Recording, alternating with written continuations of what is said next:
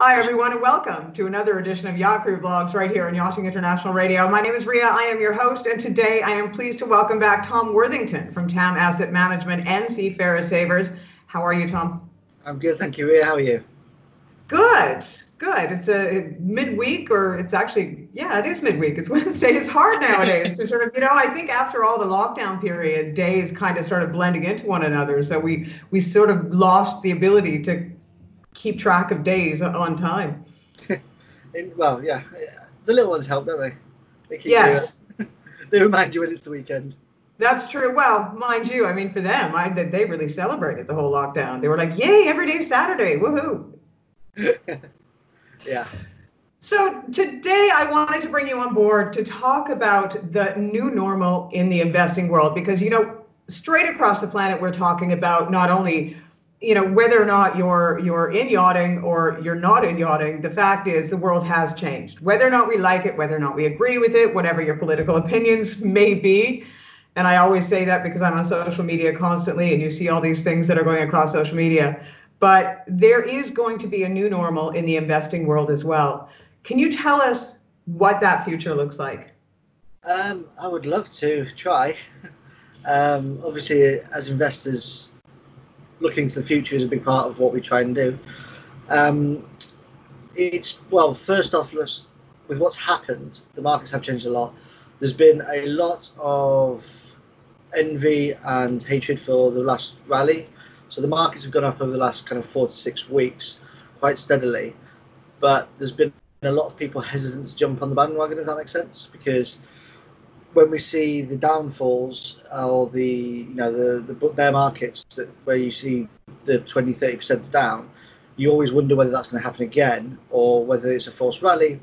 At the moment the fed uh, in the us is buying a lot of assets. So a lot of people are just blindly following what they're doing so that they're not making investment decisions. I'm not not talking about investors on their own i'm talking about big houses here they're not necessarily making investment decisions on a more determined basis like they normally would.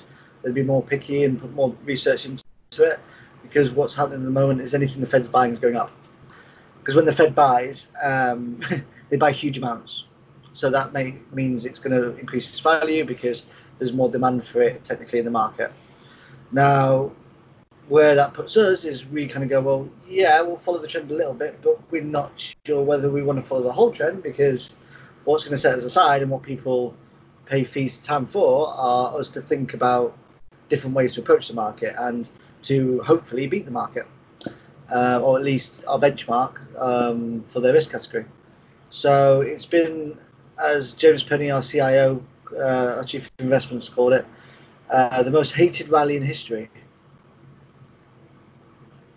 Um, so yeah, so the new normal is going to be. There's been a lot of about ESG, which is what we talked about last time, and what I think you touched on with Steph uh, last week, um, with the charities, the social governance.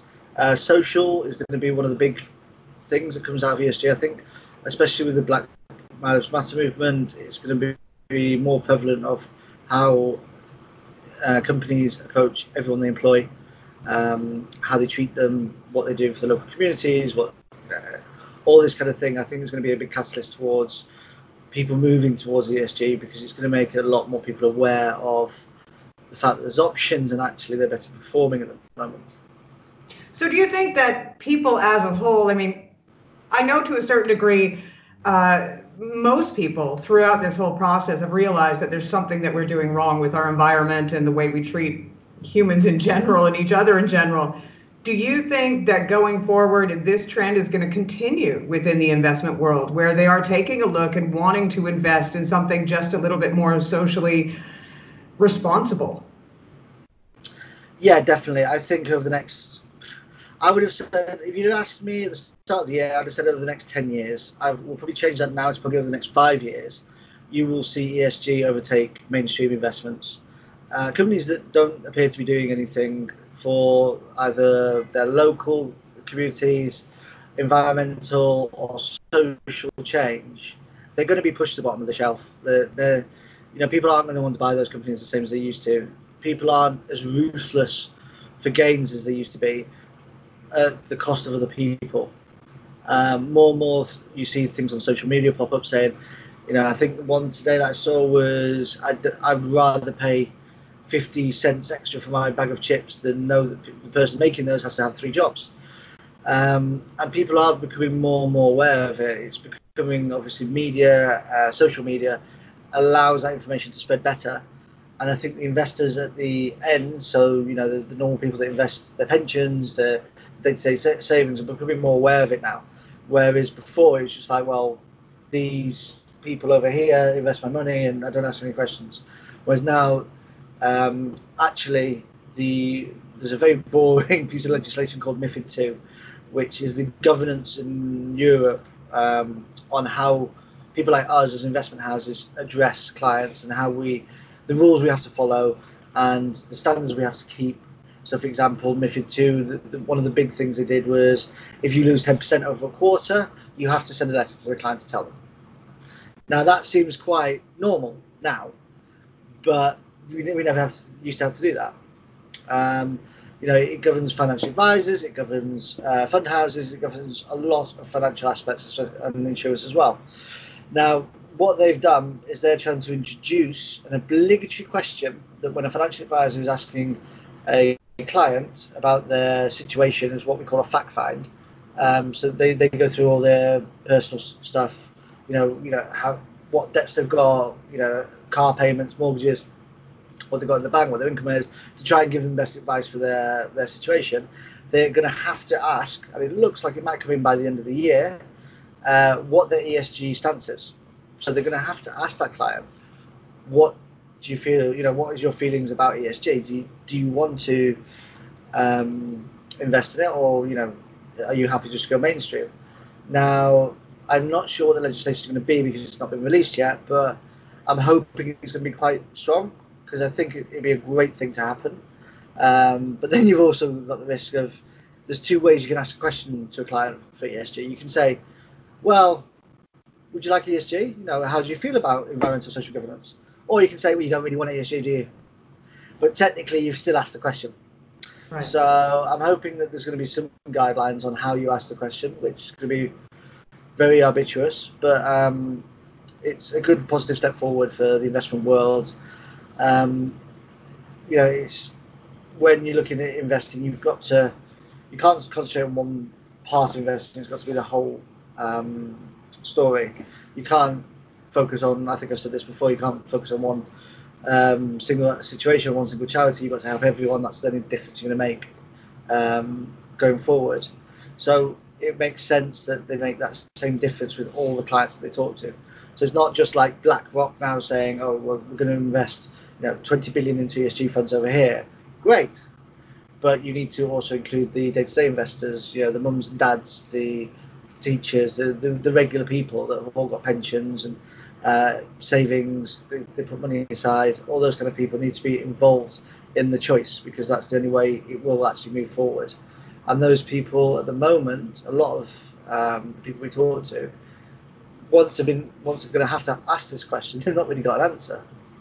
So you go, well, do you want to be ESG? And if the client says yes, you go, um, okay. So we, we TAM, I'm quite proud to say, have that answer where we can say we've got a very strong, now just on the first of this month, hit seven year track record. So we've been doing this for seven years. We're not like a lot of people that come in in the last year or two because it's become trendy.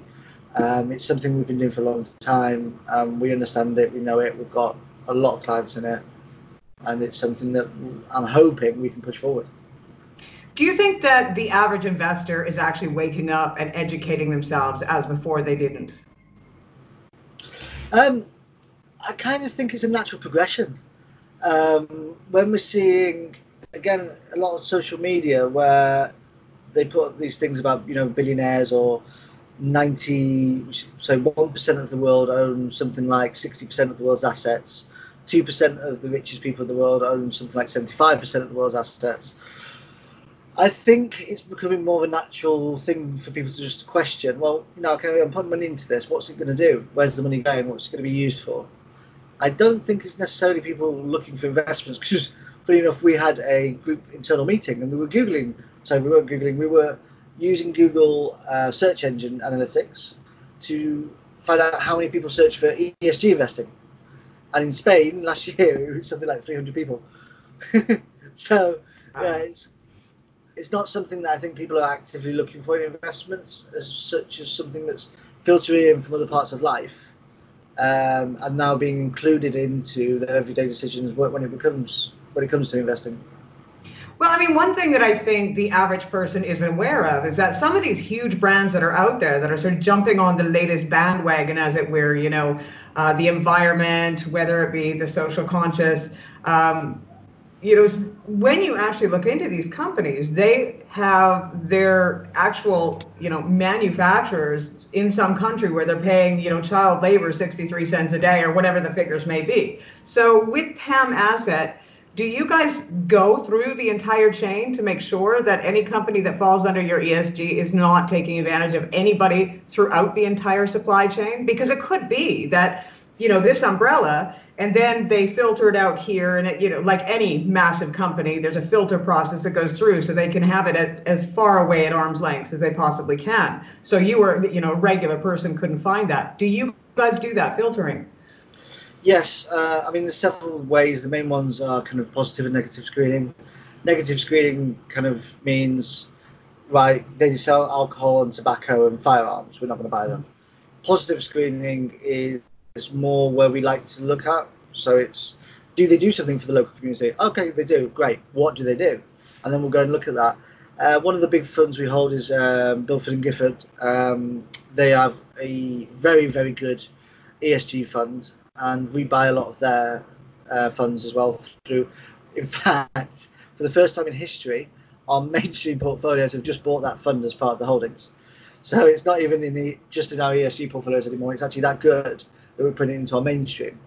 And that's a big thing. That's you know that's never happened. Um, certainly not at TAM. That is the, it, it, goes to show how well they're, they're, performing and how much our investment team actually think how the value is in the fund. So you know, for example, one that we got, um, I got an email. A lot of people email us requesting to buy funds, and we always look at them. Um, one, I'm obviously not going to name any names. One was a vegan fund. I thought, wait, okay, that you know, if it's got a kind of vegan theme, it will, it might fit our ESG. Uh, well, the top holding was Apple, which has been proved to support low-cost child labour in various countries. So, you know, just a, a pure glance at it within five seconds, we knew we couldn't buy it. So we are very, very selective. I think we went over this last time as well. There are various shades of green, uh, and you can't go too deep green because then it leaves you no options. However, we do try and, you know, if if we think a fund's good to buy and there's two very similar ones and one one's more green, but we think the performance is going to be the same, we'll always go for the greener one, the one that's more ethical. But that option isn't always there. Well, I mean, it's really interesting because at the end of the day, you know, you see a lot of people. A lot of people have been stung, to be absolutely honest, when they have been dealing with. Um, financial planners um, and, and people that supposedly try to help them. Um, and so other people are sort of suggesting do it on your own, but just from this conversation, it's a it's a veritable minefield out there. You really don't know, you know, if something is is is actually all that it seems because you know, huge corporations are really good at making themselves look pretty um, until you dig. And sometimes, even just as a regular person, you don't even have the the capabilities of doing the kind of digging that needs to be done. No, I mean, ethical is a, a whole other ball, ball game because it's a lot harder.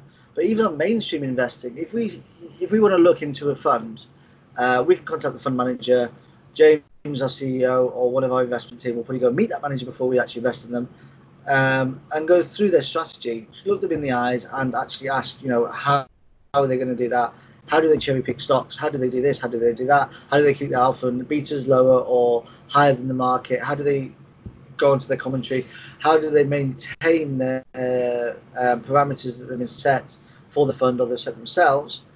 Now, you, I, I, don't want to sound derogatory here, but you as a personal investor, they're, they're not going to go and meet you. Um, you know, because when we buy a fund, we buy a large portion of it. We're talking we buy millions worth of that fund, so they will come and sit down with us. They will pick up the phone to us. A private investor, unfortunately, doesn't have that option um, because these are retail funds for them to buy, but they aren't retail friendly in the way that you can phone up your phone company.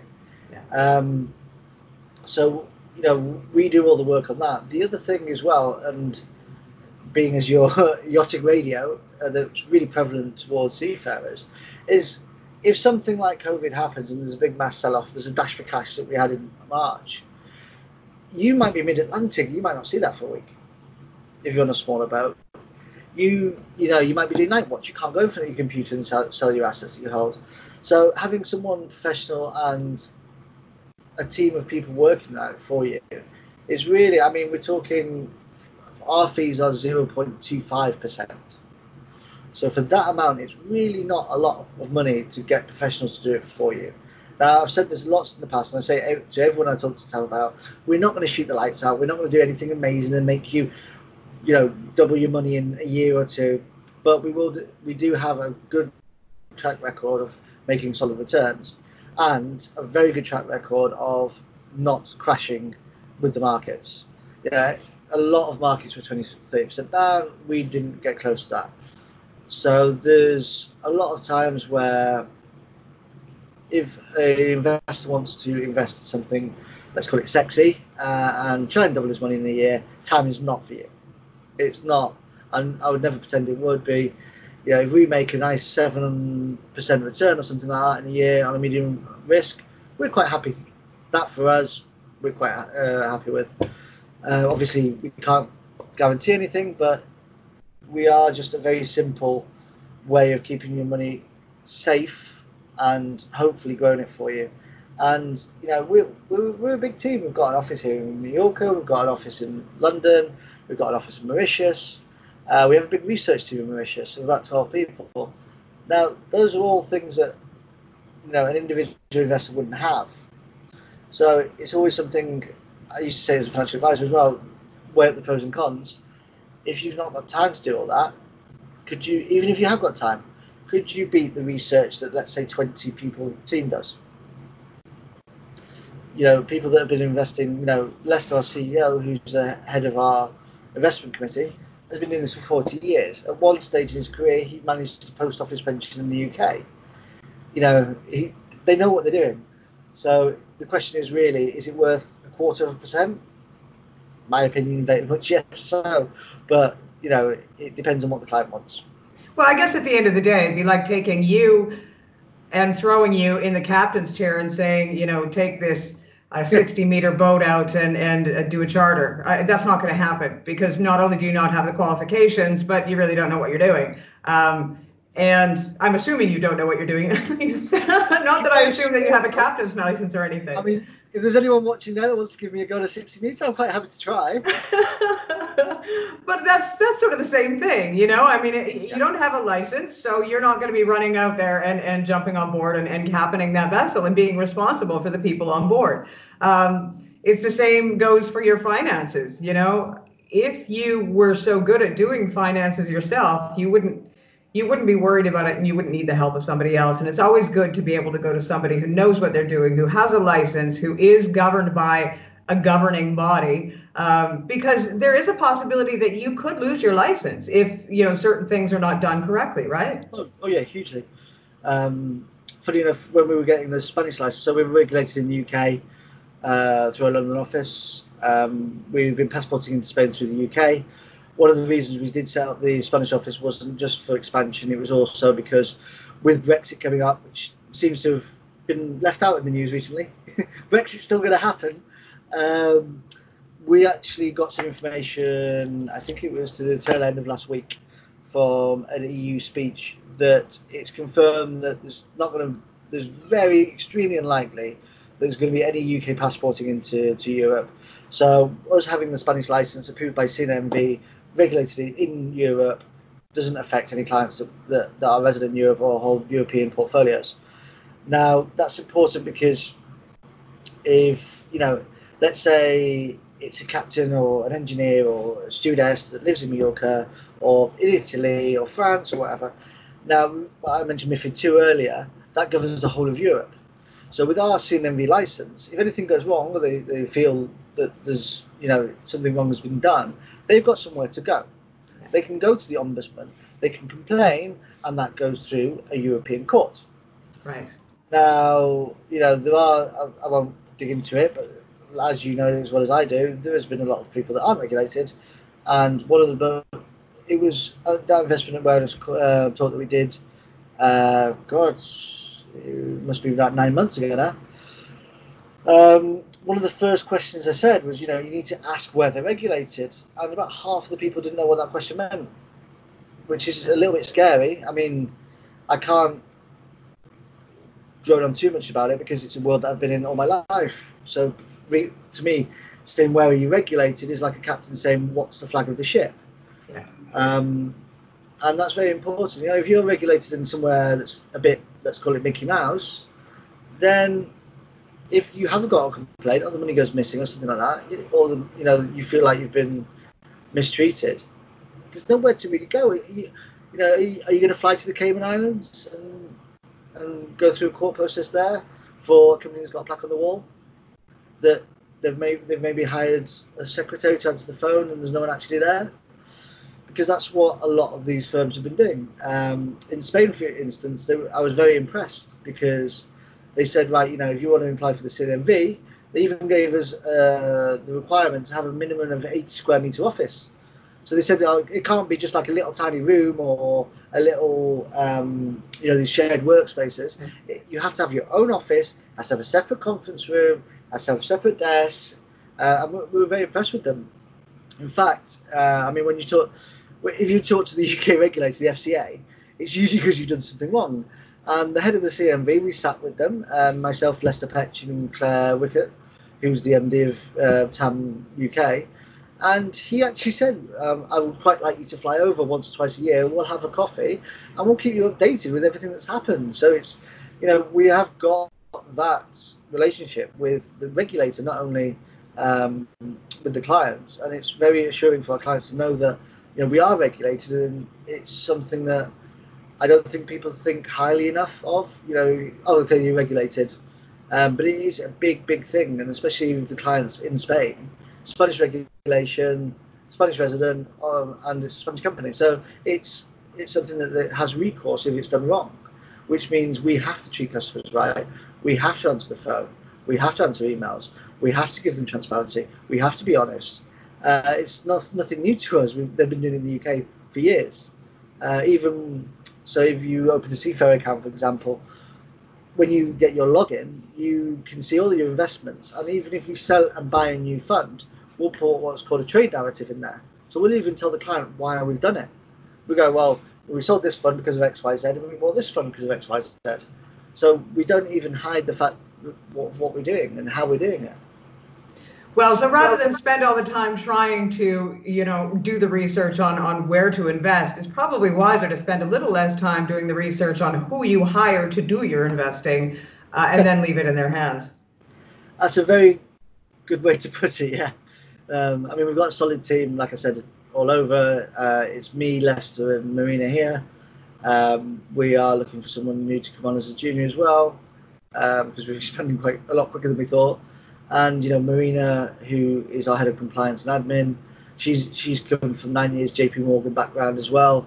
These are all people that, that we all, we've all been around the block and done it. Even though I am very fresh faced and young, I have been doing this 11 years. That's what you said. I mean, the fresh face and young thing. Yes, I know you've been doing it for a very, very long time and you're well known within the yachting industry, but the rest, well. It's, it's just the lighting in here.